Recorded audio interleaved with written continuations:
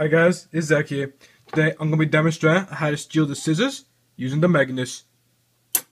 Alright, I got the scissors on the Magnus, and now I just take the scissors with the Magnus. It is that simple, guys.